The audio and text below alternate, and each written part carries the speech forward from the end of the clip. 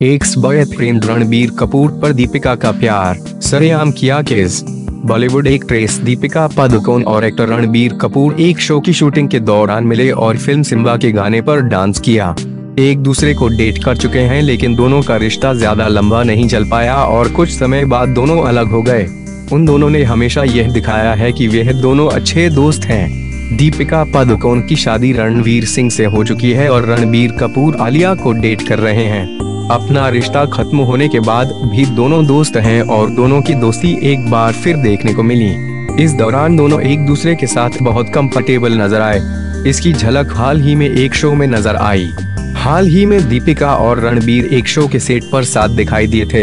इस इवेंट के बाद दीपिका जाते हुए रणबीर के गले लगी और उनके गाल पर किस किया। इस शो को टीवी एक्टर मनीष पॉल ने होस्ट किया। इस शो के दौरान रणबीर और दीपिका कॉमेडियन भारती के साथ मस्ती करते नज़र आए। इस दौरान दोनों ने दीपिका के पति और एक्टर रणवीर सिंह के गाने आँख मारे पर डांस भी किया। इस दौरान रणबीर जहाँ सूट में काफ़ी हैंडसम लग रहे थे, वहीं दीपिका पदकोण ने फ्लोरल ड्रेस पहनी हुई थी, जिसमें वो बहुत खूबसूरत लग रही थी।